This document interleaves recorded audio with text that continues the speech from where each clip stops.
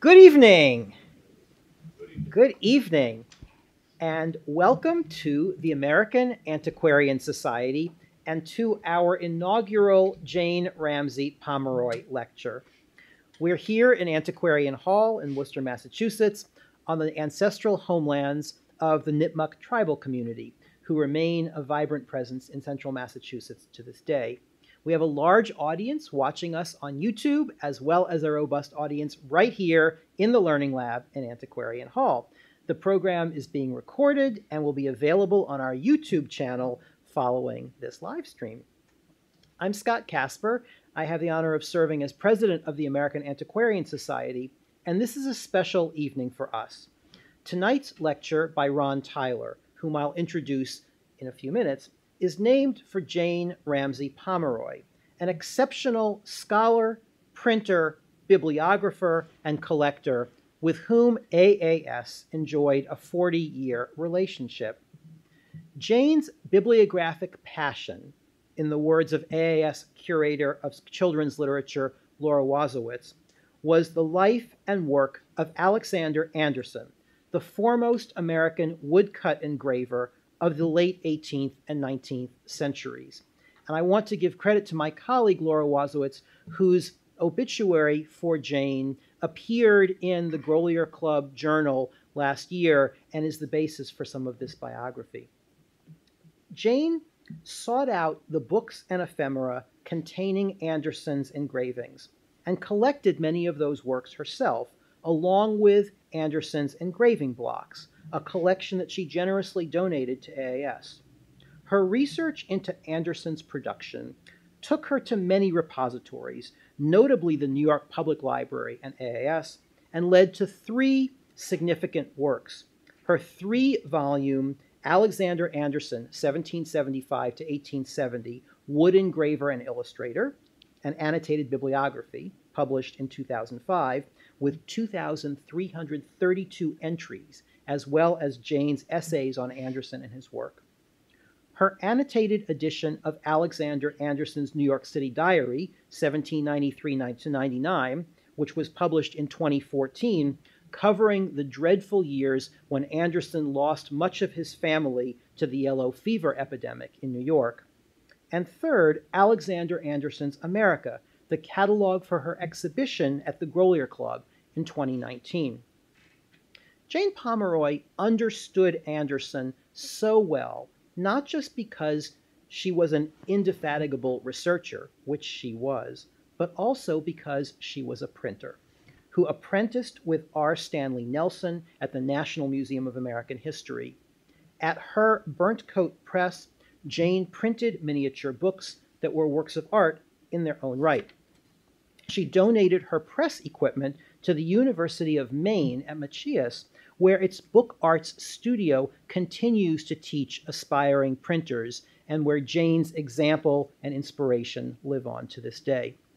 Jane Pomeroy was elected to AAS membership in 1994, and she and her husband Bob Pomeroy, who were married for 60 years until her death in 2020, were dear friends of AAS.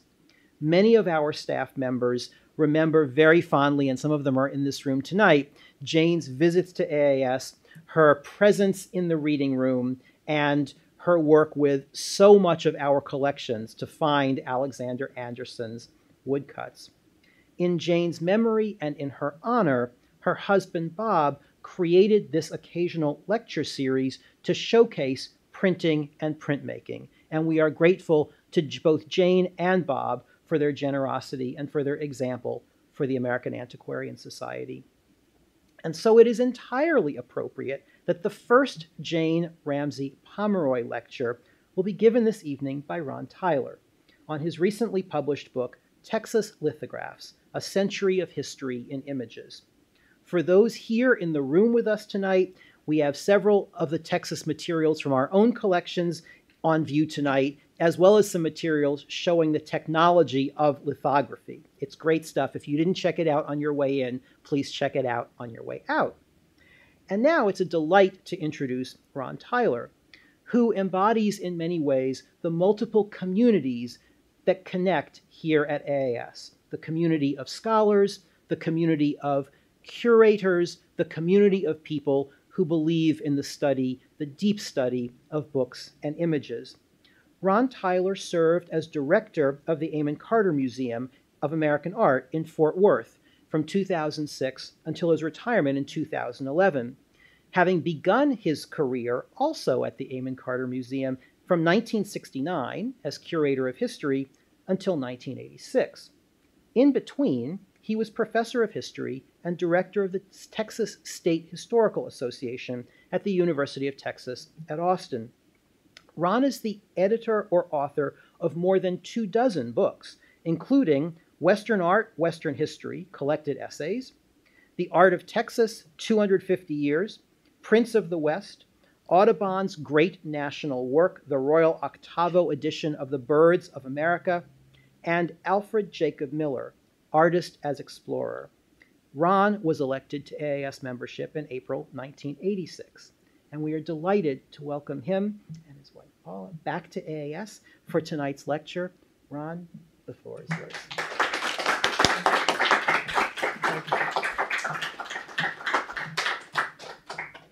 Scott, thank you for those very kind words. I'm delighted to be here. Uh, my Uber driver asked me today why I was in town, and I said, I'm giving a talk tonight. He said, On what? I said, On Texas lithographs. Do you think I'll get a crowd? he said, Well, I think I'm busy. so I'm glad you're here. Thank you. This is a project that uh, I worked on for a good long while. It started uh, probably in 1986. 86 was the sesquicentennial year for Texas, and we needed a exhibition on Texas. So I suggested we do a small exhibition on Texas lithographs, and we did, probably 50 or 60 pieces maybe. And I thought, well, I'll do a small catalog, maybe a list, and I kept adding and adding and adding, and over the years, uh, the book has, I think, about 450 illustrations. And of course, the ones I left out, all tore my heart out, each one of them. At any rate, this is the result Texas lithographs, a century of images, because it's one of my primary concerns that images and history really intersect at almost every uh, angle that you can approach them from.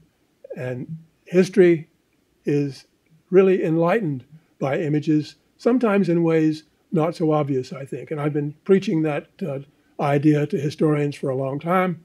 Actually, I think I have a convert or two, but uh, uh, not that many. Anyway, it's a lot of fun regardless.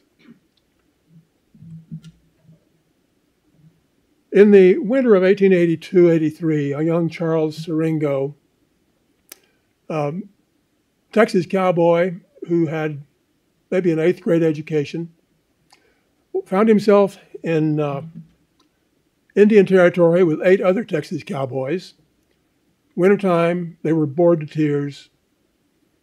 They decided that they needed some literature to uplift them.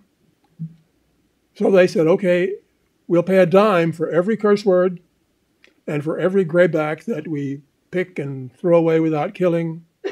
We'll put those dimes in a jar. We'll create a, a fund to subscribe to something that'll lift us up. And there were a number of choices they could have made. Maybe Scribner's Magazine, or perhaps uh, Harper's New Monthly Magazine, really good magazines that I've read a few myself in doing all my research. But what did they pick?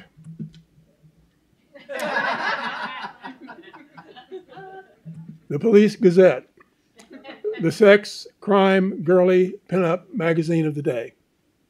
Siringo asked a couple of illiterate Texas cowboys, why in the world did you pick that wicked magazine? And they said, Because we can read the pictures. And that is a transformational idea that we still go with today a transnational visual culture. I'm going to talk about two things that happened in the 19th century briefly about lithography and its development, and also about the iconic Texas century, the 19th century. It was a very important century, needless to say, in Texas history. Fresh lithography. Alois Senefelder invented lithography and or created lithography in 1798, as we all know. Uh, a revolutionary printing process because it printed from a flat surface rather than from uh, an engraved or an etched surface. Those were the only two methods of picture printing up until the invention of lithography. It was easier, it was less expensive, and it grew rapidly. It wasn't easy. The operator had to be very skilled, but it grew rapidly. Here's a quote from the U.S. Literary Gazette The cheapness and facility of the lithographic process, the number and goodness of the impressions to be obtained from a single plate, the spirit of these impressions, they being facsimiles of the original drawing, show that it is a most valuable substitute for copper plate printing in all but the highest branches of art. The, each reproduction was so accurate that Senefelder referred to them as duplicate originals. So, in his thinking, the print was the original, and there were duplicate originals. From the Daily Quincy Herald, the pictorial process provided a series of truthful representations of various points, which afford probably a better idea of the lay of the land, the general appearance and characteristic of the country, than is to be had from the most elaborate written descriptions. So they said it better than I can. Pictures do indeed tell a story. So let's begin that Texas story. In 1821, when Stephen F. Austin first came into Texas, he said, When I explored this country in 1821, it was a wild, howling, indeterminable, interminable solitude from Sabine to Bexar. At the end of the 19th century, Texas is the only southern state which is fully imbued with the spirit of northern enterprise. The railroad was the change agent. And former President U.S. Grant, when he was in Galveston in 1880, said Texas is an empire in itself. So that's quite a bit of development in the space of less than a century. And lithography tells a story about that development. This young man is a French veteran. He's standing on the shores of a river, looking longingly at the boats in the river, like maybe he wanted to go back home if he could. Holding his hand over his heart, some say making a Masonic sign. The tree stumps in the foreground tell the story. They have chopped down the trees to build the village in the background. This is uh, a cover of a song sheet published in Paris in 1818, and it is the first Texas lithograph. Now, how did this lithograph come to be published in Paris in 1818? Well, after the Napoleonic War, French veterans could work only on their family farm, nowhere else. So there were lots of French veterans wandering around with nothing to do and causing a lot of trouble. Uh, many of them came to the United States. There was a successful colony founded in Alabama, and there was a colony attempted in Texas at Champ d'Asile on the Trinity River, uh, which is uh, near present day Liberty, Texas. Uh, it didn't last long. The Spaniards uh, found out about it and sent an army to uh, roust them out. And as soon as the French heard the army was coming, they just packed up and left. So it lasted less than six months. But in Paris, it became a cause celebre. The anti monarchists used it as an example of you see what this awful monarchy has forced on our French heroes, the veterans who fought for our republic. So it was a clash of politics in France, and it, it produced all kinds of material lithographs, plates, uh, maps, books. It became a banquet. Uh, they collected money to send to the poor French refugees in uh, Texas. Well, by the time the money arrived, they of course had uh, disbanded. It went to the mayor in New Orleans, and he distributed it to the, the veterans who had settled in the New Orleans area.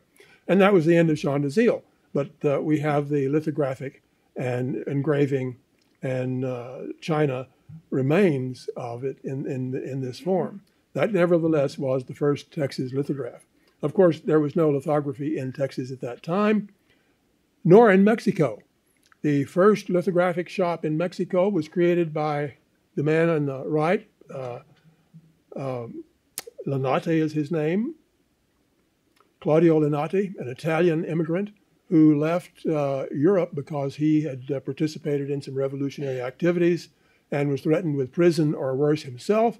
So he came to Mexico and founded a lithographic workshop in Mexico and uh, published what is probably the first separate printed map of Texas, a copy of one of Stephen F. Austin's map of Texas. Mr. Linati got himself in trouble in uh, Mexico and soon had to leave there. Uh, I'll more on that in just a moment.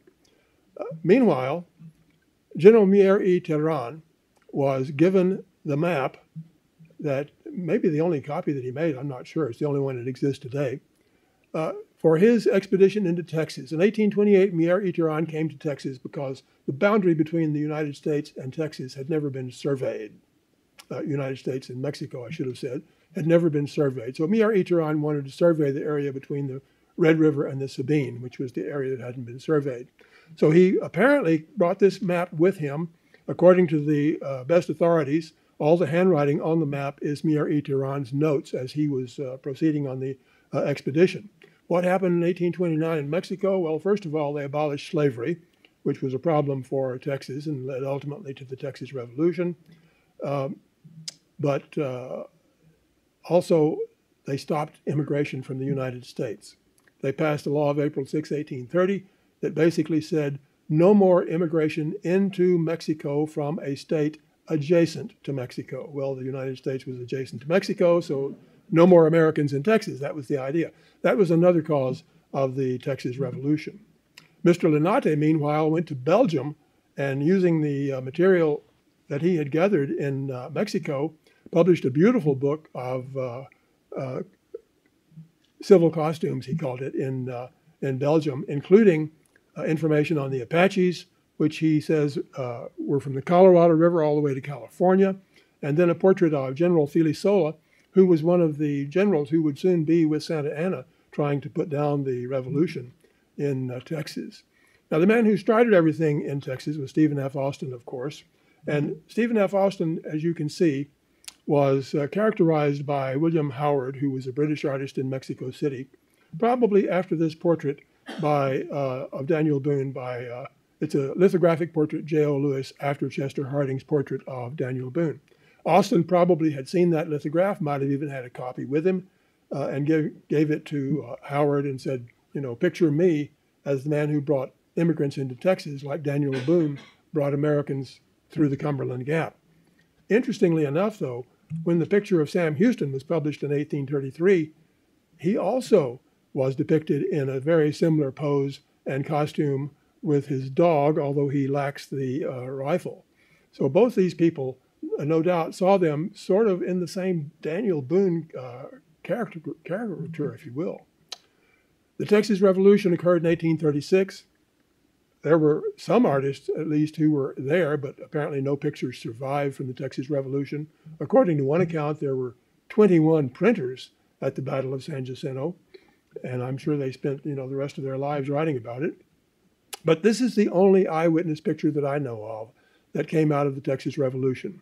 It's a map of the Presidio at Goliad by Joseph Chadwick. Chadwick was a West Point dropout who spent a lot of time in St. Louis with his uncle in his uncle's shop. He got bored by it, so he went to New Orleans and joined the New Orleans Grays and then came to Texas with them and was stationed at Goliad.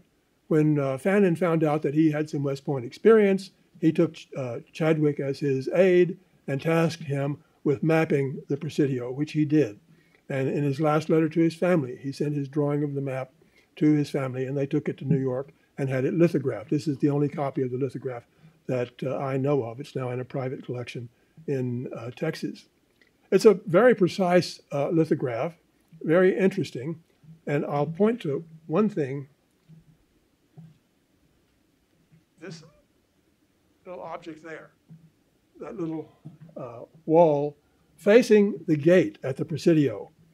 It was John Brooks's 68 mounted musket barrels, which he had tied together and racked up like that so that with a single match, he could light a fuse that would fire all 68 musket barrels at whoever was coming through the gate at the Presidio. Unfortunately, the uh, troops were not in the Presidio when the Mexicans attacked. They were caught out on the prairie, and as you know, that led to Fannin's uh, massacre. But this is the only eyewitness piece I know of from the Texas Revolution itself. There are a number of pieces that result from it, one of which is on display here tonight. Uh, Sam Houston, uh, in his Cherokee uniform, accepting the swords of Santa Anna and Cos, and they are, of course, both saying that uh, they had nothing to do with the uh, Alamo. This is the New York view of the settlement of the Texas uh, Revolution. There are imaginary views of the Revolution. This picture of the Battle of Alamo uh, was published, I think, about 1845, but of course, it has uh, nothing to do with the actual Battle of the Alamo or how it looked. I'm sure San Antonians would wish it wish it did look like that at the time, but it didn't. Immediately after the revolution, the uh, Allen brothers, uh, entrepreneurs, land developers from New York, uh, went up Buffalo Bayou from Galveston and staked out an area that they called Houston and published this map uh, in New Orleans. Plan of the city of Houston, published in 1837. And there, there's only about one complete copy that I know of of this uh, map. Uh, and they mailed it, uh, as uh, Edward Stiff said, a splendid map of the city was carried on the wings of the wind to distant places to catch the, in time the greedy speculator and allure the uninitiated. Mr. Stiff's book is an effort to uh, educate them, I guess I could say. Well, and also in 1837, uh, perhaps the most noted visitor to early uh, Houston was John James Audubon. He was in the finishing stage of the Birds of America. Uh, he would wrap it up in 1839. And he had always wanted to go west, and he had been unable to do so. Uh, he had tried to sign on to several expeditions as a naturalist or an artist, and he was unable to do so. After the Texas Revolution, when, when the fighting died down, he had an opportunity to go to Texas, and he took it. He jumped at the chance. He had his son and Edward Harris with him. They landed in Galveston. They spent most of their time in Galveston. His son did a camera lucida view of Galveston, which is not known to exist. And uh, then he took the Yellowstone a ship, uh, famous on the Missouri River, if you are familiar with Carl Bodmer. He took the Yellowstone up Buffalo Bayou to Houston. And he arrived like the month after, or the week after, I believe, celebration of the Texas victory at the Battle of San Jacinto on April the 21st. So he said all the bunting, which of course was wet and dragging down now because of rain, uh, was still up. And of course, he said they were in their ankles, uh, up to their ankles in mud because it was so wet in Houston. Houston really was founded on a swamp. Uh, but he met Sam Houston, and he said that was a very memorable experience, which he would never forget. And Houston offered to uh, help him any way he could. There was no way he could help. Audubon later wrote in a note that which I, I can no longer find, but uh, I guess I can quote without uh, stretching it too much. He basically said, Nobody here has any money. They're not going to buy my book. he also said that he did not find any new birds in Houston. He said, I have seen most of the birds, though, and that gives me the confidence to go ahead and publish because I feel like now, since I didn't find any on this trip, and, and Galveston, the Galveston area is a real flyway. Uh, so he went ahead, went back to England and finished his book. But he'd already started the viviparous quadrupeds of North America, and he had his son with him, and uh, John Woodhouse Audubon, who actually did about half of the quadrupeds uh, did the picture of the uh, rabbit as well as the armadillo and other famous images from the uh, quadrupeds. The picture of the capital of the Republic of Texas there is by Mary Austin Holley, who was Stephen F. Austin's cousin and visited Texas a couple of times and was planning to uh, immigrate when Stephen F. Austin died, and she, uh, she never did. Well, the Republic of Texas then is established. The uh, Congress of the Republic of Texas uh, put forth a motion to uh, adopt Audubon as an honorary citizen of Texas, but it hit a snag in a committee and, and never, nothing ever came of it, unfortunately. Uh, there were other artists and would-be authors who were circulating in Texas at that time. Uh, this one remains anonymous. He did a book called Texas in 1840, which contains this little uh, lithograph of the city of Austin, which is also on view out in the gallery. Uh, it uh, is one of the first pictures of a quote, quote, city in Austin, and this is like the year after Austin was established. It was published by, well, it was uh, done by uh, Edward Hall, who was the uh, Texas consul in New Orleans, was the artist who did it. The lithographer, the next year, moved to Galveston and spent about a year in Galveston trying to set up a shop for engraving, but he was unsuccessful and moved back and really drops out of the record at that point. I don't know what happened to him. Another city that was uh, documented at that time, this is from 1841, uh, Charles Hooton was an Englishman who immigrated to Texas with members of his family. And I think by the time he got to Galveston, he realized they'd made a mistake. Uh, and so uh, he wrote several articles and a book uh, trying to uh, prevent other people from making his mistake.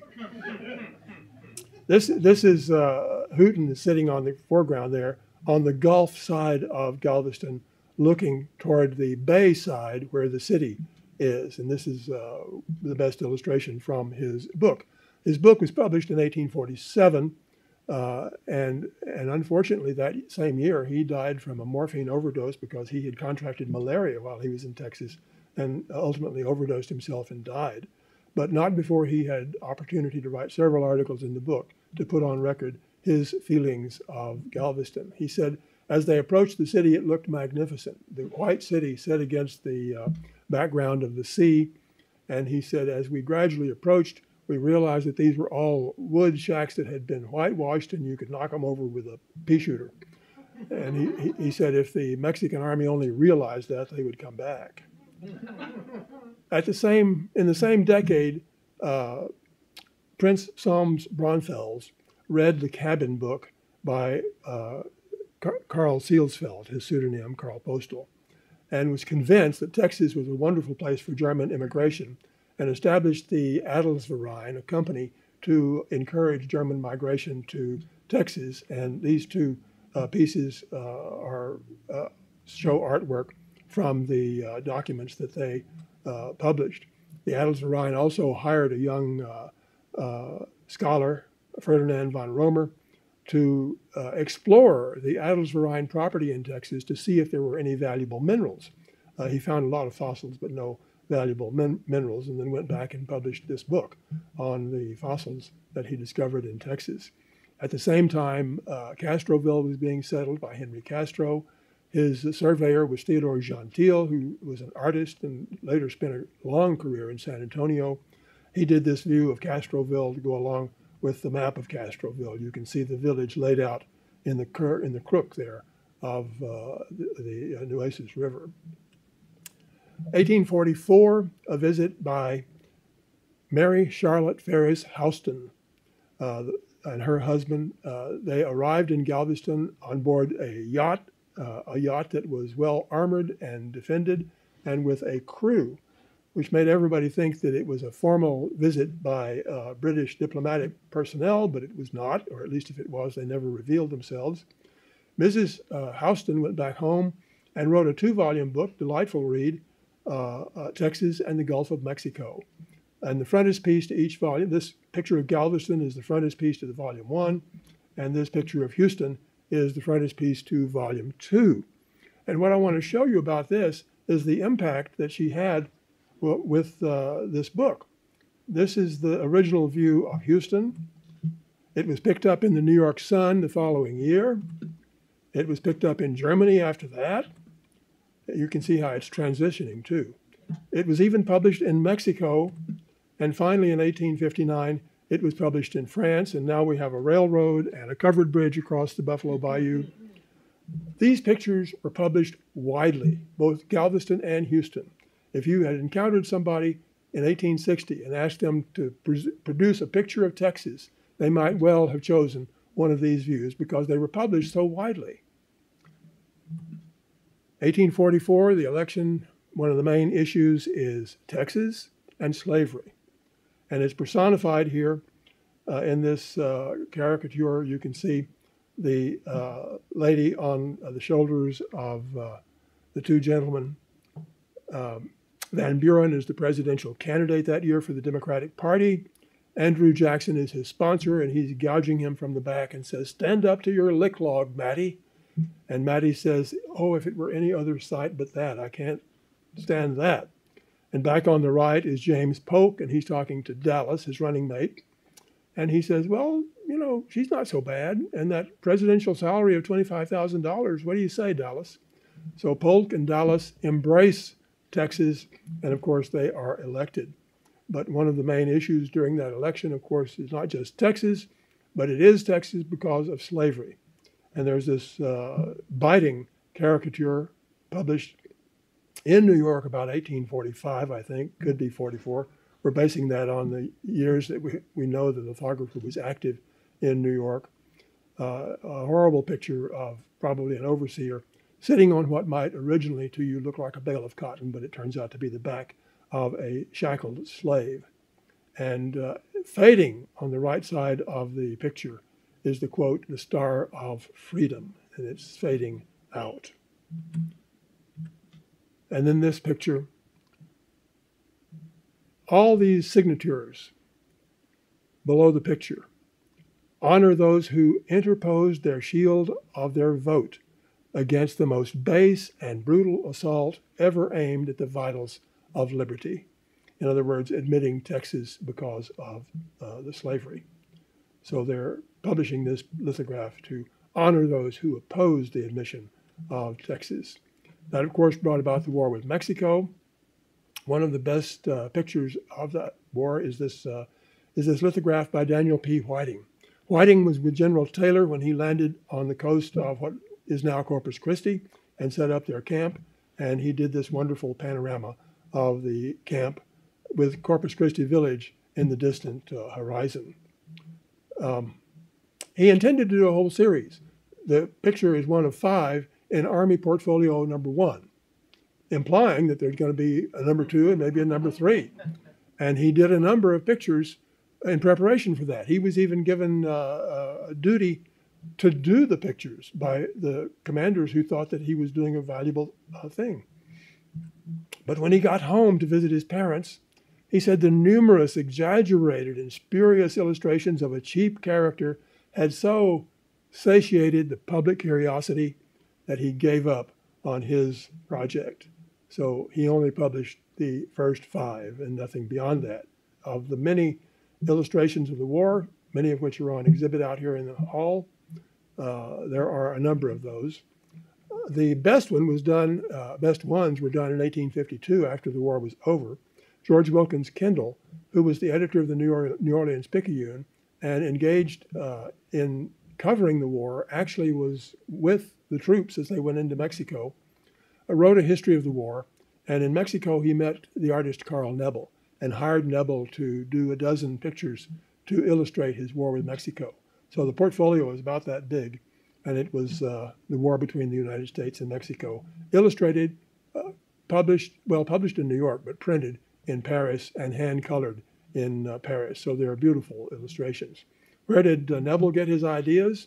Well, he says in the introduction that he visited all the battlefields, but I doubt that he visited this one, which is Palo Alto. It's in South Texas near Brownsville, because he's put a, a mountain range in the background there. And if you've been to South Texas, you know there aren't any mountains uh, anywhere around. Uh, perhaps he got the mountain range idea from this illustration from Thomas Bangs Thorpe's book. Thorpe's was another New Orleans newspaperman who was in Mexico and rushed back and wrote a book about it. And he, it's a tree line. He has a line of trees on the horizon. And Nebel possibly mistook those that tree line for a line of mountains, which he has uh, filled in a little more uh, realistically than Mr. Thorpe uh, did. Well, uh, the Germans in Texas are responsible for so many of the illustrations of this period. One of the uh, uh, men in the Adelsverein, writing back to the owners in Germany, calls them pretty pictures, candy for the immigrants. And indeed they are. 1847 picture of the wharf in uh, Galveston.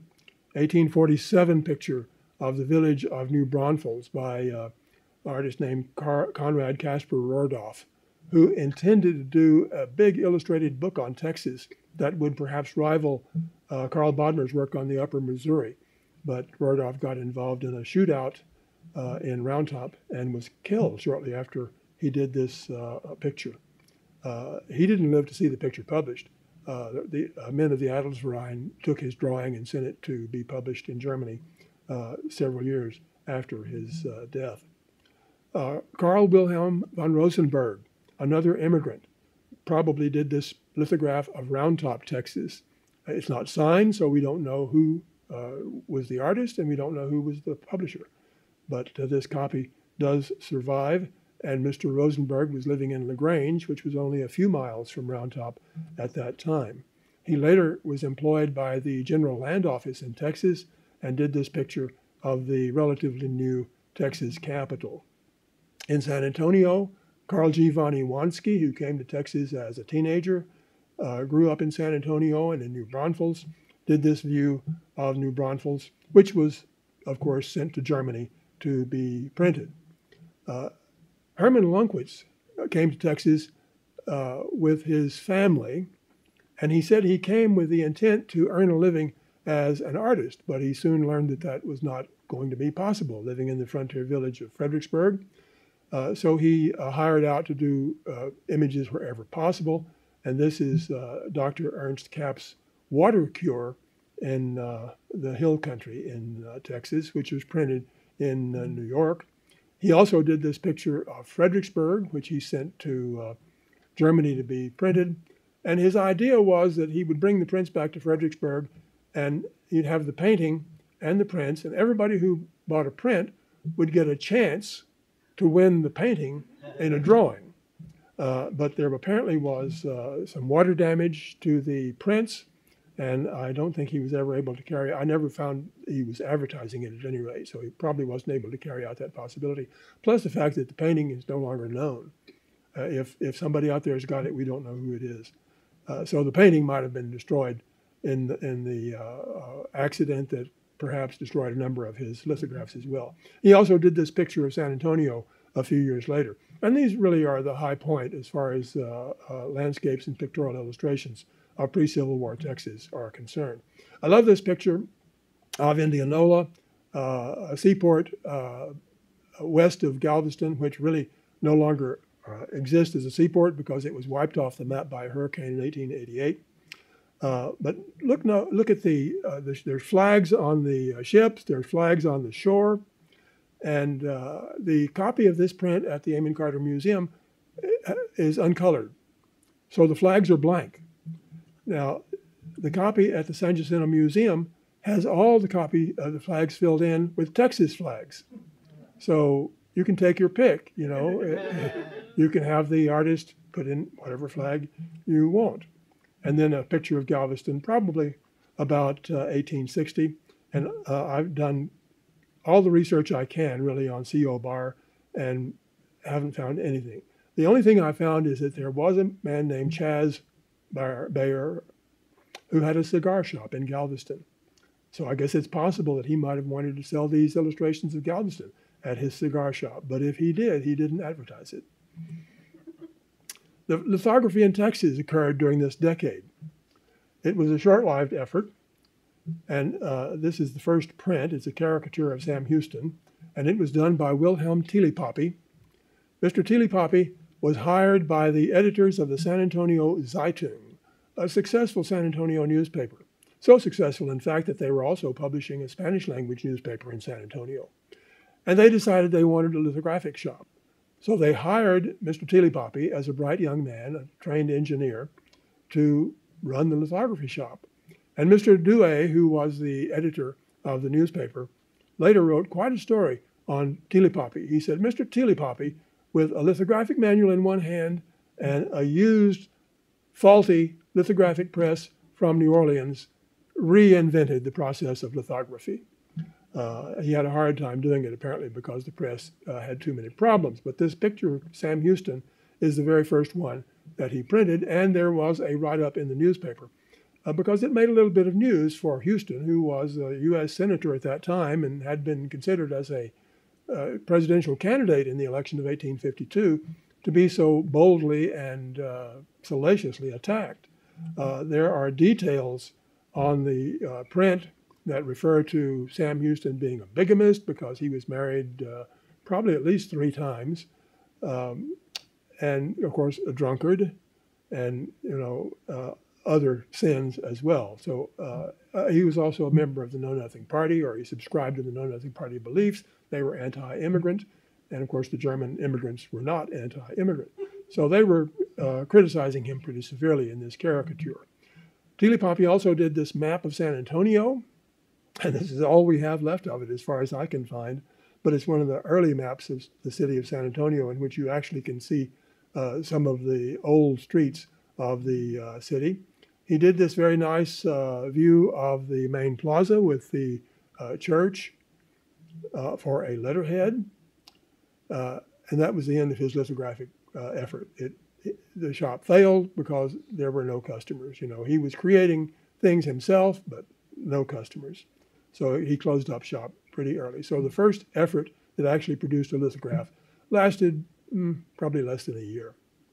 And the, and the main reason might have been the faulty press. We can't blame Thielepape for that. Uh, now, meanwhile, Texas has become a state in the Union, and it is being surveyed. One of the first surveys in 1845 cut across the Panhandle along the Canadian River from uh, Bent's Fort in southeastern Colorado down into New Mexico and then straight across the Panhandle. And one of the most uh, compelling sights they saw apparently was this picture called the Pillar Rock on the Canadian. Mr. Abert, who was the artist, said he did the picture of Pillar Rock because he thought it would be a sentinel for future travelers. Well, if it is, it's not a sentinel for travelers now because I haven't found it yet. the uh, map that he did to accompany it, it shows that the Pillar Rock was on the south side of the river. There is a stump of a Pillar Rock left on the north side of the river, but not on the south side. So there might have been more than one uh, Pillar Rock.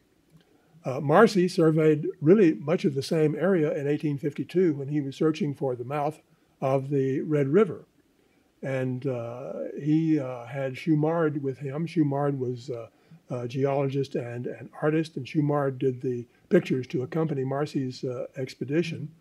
And Marcy, when he saw the picture of what he called the head of the Red River at the top there, paused and caught his breath and said, The stupendous escarpments of solid rock rising precipitously from the bed of the river to such a height as, for a great portion of the day, exclude the rays of sun, were worn away, away by the lapse of time and the action of the water and the weather into the most fantastic forms that required but little effort of the imagination to convert them into works of art. So he's really bringing the whole cultural mindset of landscape America to bear on this uh, canyon view in uh, uh, the panhandle of Texas. And, and that wasn't the mouth of the Red River, that's in New Mexico. It was also copied and reprinted in uh, Hungary. Another expedition also went along the Canadian River. It was one of the Pacific Railroad surveys led by uh, uh, Amiel Weeks Whipple, and the artist on that expedition was Heinrich Möllhausen.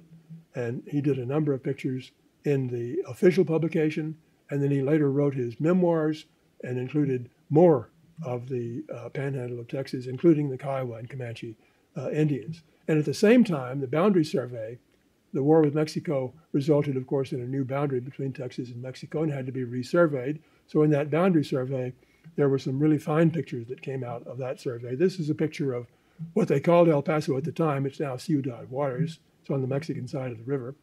Uh, the main artist on that expedition was uh, Arthur Schott, and uh, he did a series of interesting portraits. Mr. Schott really was a botanist, and he was corresponding with John Torrey at Princeton the whole time, so the correspondence is available. And he really believed, I think he believed that plants were sentient, and he paid particular attention to all the plants. And if you notice, he believed that the Native Americans had a real uh, allure about them that the plants understood, and the plants are all drawn to the Native Americans. And you can see how they're subtly leaning toward this man. And in this portrait, the same thing. You can see how they're leaning toward or pointing toward the man. And he also did this landscape in which the plants really uh, form a chorus line for the mountains, which are in the background. Now, of course, what he's portraying is the border and uh, perhaps at the same time a possible railroad route. But in, in his heart, what he's doing is he's painting portraits of these uh, plants. Of course, that didn't come out of the uh, official publication. They, they didn't talk about that. You have to go to his correspondence with Torrey and others to understand his yearning for the plants. Uh, at the same time, a couple of years later, uh, there's a commercial expedition from Memphis to San Diego to try to find a route for a trans- transcontinental railroad, and uh, the artist there is called uh, Carl Schuchard.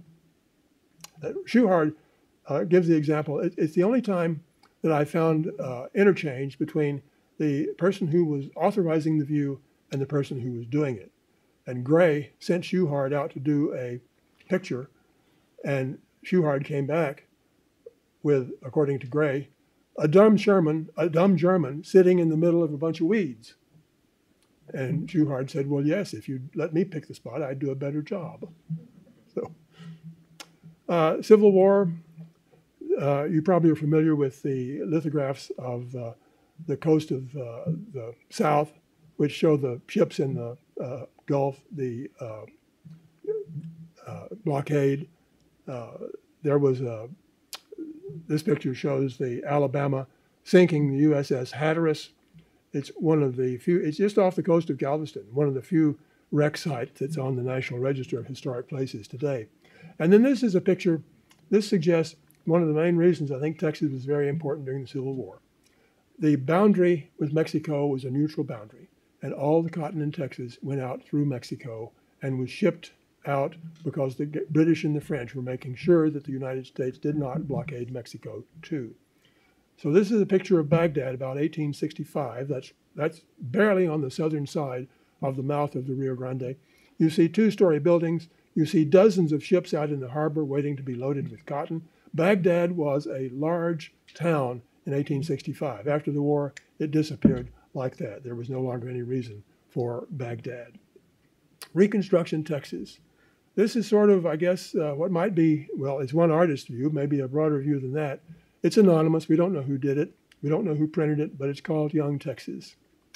And O.O. Howard was the uh, commander of the Freedmen's Bureau. He was the man who established the Freedmen's Bureau throughout the South. And he said Edgar Gregory is so fearless of the opposite, fearless of opposition or danger that I sent him to Texas, which seemed in 1865 to be the post of greatest peril. Texas is the post of greatest peril because Texas really was never defeated. Texas was never invaded. They simply quit fighting, or at least many of them did. Some of them kept fighting. Flake's Bulletin, which was a German and English language newspaper in Galveston, Mr. Flakes was a Unionist.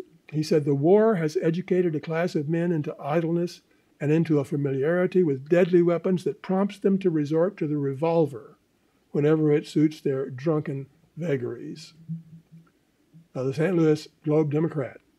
In Texas, the life of a man is held in but little higher esteem than that of an ox or a horse. And you know President Chester Arthur's famous quote about cowboys, a band of armed desperadoes. So Texas was a tough place after the war. It was a violent place, but it was also a place of opportunity. And that's what you see in the lithographs. You don't see the other side in the lithographs, except for the young Texas view. Joseph McCoy was an immigrant from Indiana who came to Dallas as a young man. And he's trying to convince his family and his fiancee to join him. And he sent them two copies of the bird's eye view of Dallas and writes in his letter, Now, about my staying in Texas, you must begin to think about it. If Texas is going to be what all say it is, I expect I can do better here than any place else. Well, the Texas image then has got to improve. A man wrote to the uh, Dallas newspaper and he said, you know, those people in California and New York both think we're a bunch of desperados. So the Texas image needs some work. What is the Texas image? Well, the cowboy becomes part of that Texas image. This is Siringo's. Uh, Siringo went on to write an autobiography, which is the first cowboy autobiography. Texas Jack is performing with Buffalo Bill. but also there's this view of a prosperous ranch in uh, Texas. And cowboys then are picked up in advertising. In the one on the left, William Black's Range Canning Company, you see a can label for boiled mutton, and the image is, of course, a longhorn and a cowboy. And you see a German uh, trading card, you see a song sheet, and you see Mr. Potter of Texas, a, a, a novel based loosely on the life of, uh, of uh, a, a, Texas rancher. But here he's riding a, a bicycle with good, Goodrich tires, Mr. Potter of Texas. So the real change agent in Texas after the war was the railroad, as I said. And this is a, a book that was published on the railroad between Galveston and San Antonio. San Antonio was one of the last large cities in Texas to get the railroad in 1877, and the, the booklet is illustrated with all the towns along the route. And at the same time, lithography really finally comes to Texas for the first time, and that's with the Strickland Company in uh, Galveston. And Strickland published this uh, very nice map of Galveston. He published a little booklet of anonymous drawings from the Cotton Exchange building in Galveston. And he also published uh, the Mardi Gras invitations for Galveston, this one after uh, James Henry Mosher, who was a New England artist who was in uh, Galveston for a couple of years because his father was uh, architect for the Cotton Exchange building. Clarke and Courts comes along as a lithography company a few years later, ultimately buys the remnants of the Strickland Corporation. Clarke and Courts becomes the largest printer in the South and does business in uh, Latin America as well. Clarke and Courts even trademarked the Texas flag. Coyle in Houston was the lithographer who started business there. In Dallas, we have the Dallas Lithograph Company, uh, publishing caricatures. They ha- hired an artist from Puck Magazine, so we have this caricature of uh, of the uh, gremlin running away with the tax money that would be earned on beverages if we permitted them to continue to sell. And they also did this bird's eye view of the port of Dallas, uh, suggesting that the Trinity River could be turned into a port for Dallas. And this wonderful little lithograph, uh, this is the frontispiece to a book called Evolution and True Light by William Dunn, who was a hotel owner in uh, Fort Worth. And he's got a picture of Adam and Eve in the Garden of Eden, and they're being thrust out of the Garden of Eden for uh, tasting the fruit. Why he did that, I don't know, and there is no explanation in the book, but it's a charming, charming illustration. So there were a number of lithographers. I think all the major cities in Texas had lithographic shops except Austin and El Paso, and Austin went straight into uh, halftone printing. So uh, uh, flurry of lithographs about Texas during the 19th century. Now, 1900 is uh, an interesting year in a sense because it was the year of the Galveston flood, the Galveston hurricane, which is probably still the largest natural disaster in this country's history. But it was also at that time that halftone printing really sort of did a job on lithography as well, because halftone mm-hmm. printing made it possible to produce a reproduction of a photograph. And lithography at that point was unable to do that. So most printers turned to halftone printing for a long time, leading Joseph Pennell to write, Lithography is now relegated to the cigar box maker, the printer of theatrical posters, or the publisher of chromos and comic prints. Uh, but that's not true. We know what happened to lithography in the 20th century. It went on to become the main method of uh, printing. And uh, do you know how they get the M's on the M&Ms? Lithography. And also, chips get all those intricate designs printed on them today by lithography. So even in this age of digital printing, lithography is not totally dead. Herman Spiess, who was the uh, director of the Adelsverein in 1847, said the printing and distribution of such pictures will do more to lure immigrants than newspaper articles. So lithography played a role in the development and populating of 19th century Texas. And I think historians need to look at that influence, whatever it was. It was, in a sense, a filter through which people saw Texas and which we unconsciously maybe, see it today. Thanks so much.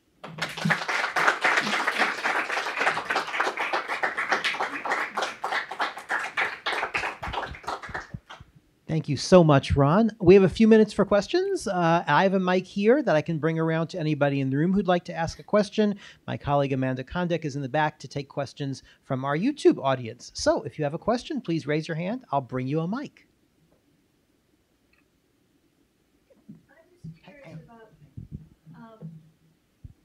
Flowers of Texas. Well, There are a number. There are a number. I left them out. I'm sorry.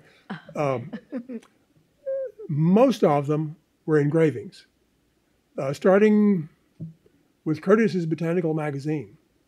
There were there were contacts in Texas who were sending Curtis seeds, and Thomas Drummond, uh, who I think came down the Mississippi River, got into Texas, did a lot of research in Texas in the 1830s, and went to New Orleans with the intent of going back at home and getting his family and moving, and uh, died in uh, New Orleans.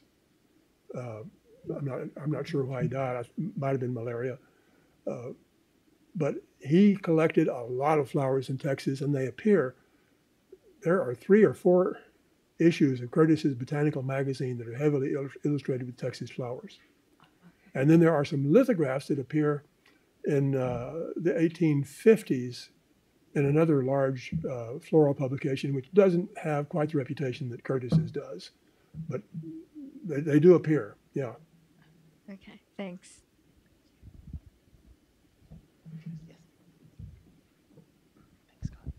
Uh, Ron, thank you for a wonderful presentation and great images.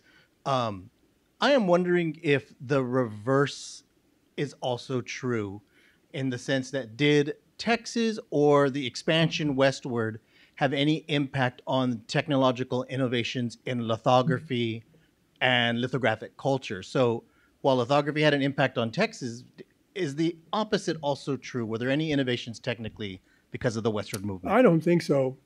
The what I find, and I've, I've forgotten now how many uh, people I identified as working in lithographic shops in, in Texas, but you can do that by using the city directories and the census. And I, I came to well over 100, and uh, actually, in the, in the 19th century, and uh, two of them were actually women. Uh, you know, what role they played uh, is not always clear in the city directories or the census, but that they were involved in a lithographic process of some kind. Uh, but no, these were Englishmen or Germans primarily who were imported. Strickland, when he set up his lithographic shop, brought in a whole new team to uh, run it. None of them were Texans. And uh, there was some learning on the job. His son got involved in the process and became, I think, uh, a lithographic artist. And after uh, the Strickland shop closed, his son went into the Midwest, I think in Kansas City, and continued to work in a lithographic shop there. But as far as uh, any patents or anything like that, not that I'm aware of. They were using, you know, own equipment like everybody else.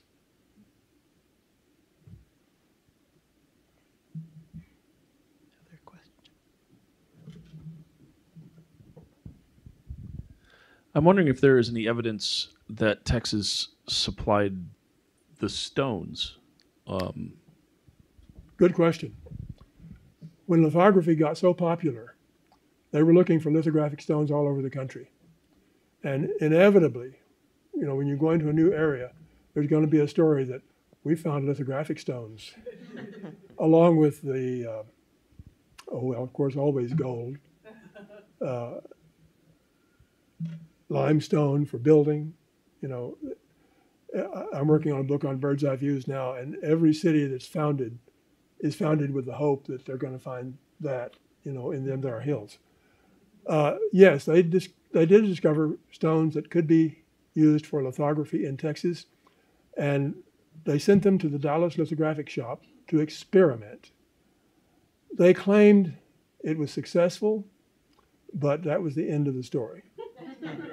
so I rather expected it was not that, suc- that successful. But they tried, and they found them in you know several different parts of Texas. And every time they did, there would be a big write-up in the newspaper and lots of hope that now we've got a new industry. Because lithographic stones were extremely valuable. They were expensive. One of the one of the largest expenses probably of setting up a shop. And that was one of the things, that was one of the reasons, of course, that there weren't that more, weren't more lithographic shops in Texas because the startup was kind of high. Not to mention the ability.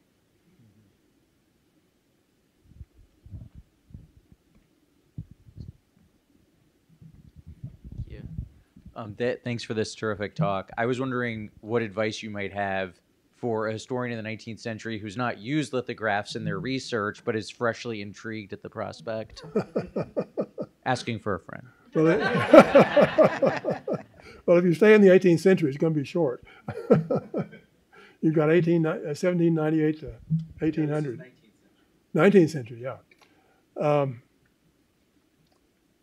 you know, lithographs are everywhere. And uh, whatever you're looking for, there may be something there.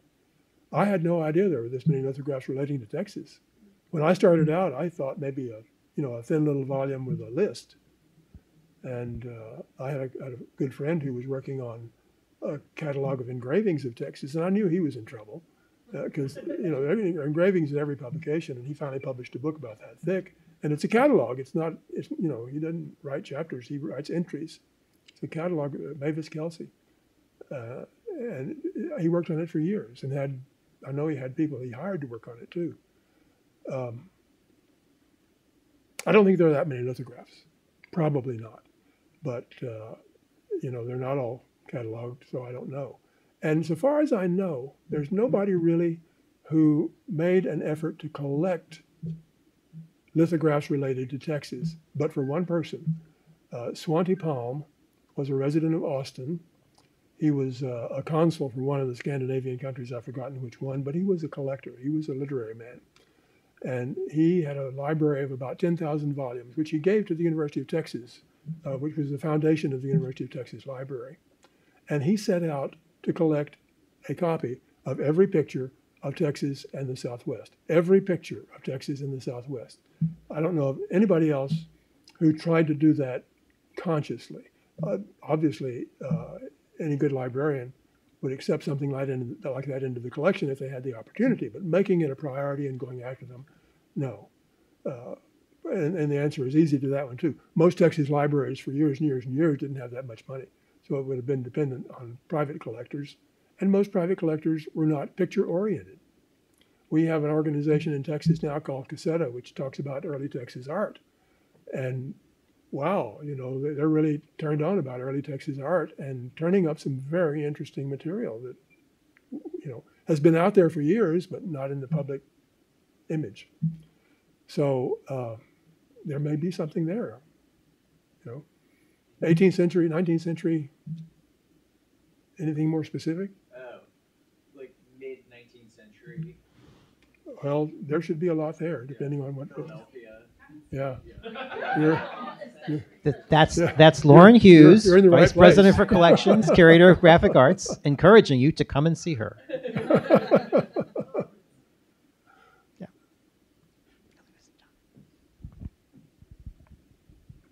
Um, I have a question about color. So, I mean, you talked a lot about the distribution of images, the kind of, even in some cases, the kind of mistakes that are made into the images. And I love that the one of the mountains above, is it Galveston? Um, and I'm just curious if you could talk a little bit about the coloring process, right? These are hand colored, right? I mean, Most of them are hand right, colored. right. There were some chromolithographs that uh, I've included in my book. Uh, some of the posters, the fair posters and things like that that I showed toward the end, were chromolithographs. And there was chromolithography done in Texas. Uh, Strickland did chromolithography, uh, primarily the uh, Mardi Gras invitations that he did. The Galve- Galveston started their Mardi Gras celebration about 1867, and it's still going on. And so they, you know, they were, uh, they had their invitations printed in New York and Paris before Strickland was able to do chromolithography. But he started doing chromolithography, so they started letting him print them. Uh, Clarke and Courts obviously did chromolithography. They, that was the, ultimately the best uh, lithography shop in Texas, I think, and the, by far the largest. And as I said, they were doing business throughout the South and in Latin America as well. Um, and um, so there was some chromolithography, but not, not much more than that. And a number of the images that I showed here uh, were hand colored. And perhaps uh, I showed you the only one that exists. The rest of them might not be colored. Uh, that's, that's, a com- that's a comment that I did not make in my book. Uh, because uh, I, the picture by Hebert, for example, beautiful little hand colored picture. None of the rest of them are colored. He, that was his personal copy. So uh, there are some chromolithographs, but not that many. And most of them are ads, if they do exist. Uh, the thing that surprised me is that the railroads, as much uh, material as they published, didn't do more lithography. They did some, and I showed you some, but uh, they did a lot more of engravings. The, the railroads, I think, kind of took a back seat and let the communities do the advertising for them. Uh, and when you read about the railroads going out of business, that's maybe that was a wise decision. Ron Tyler, thank you so much for this great evening. Thank you.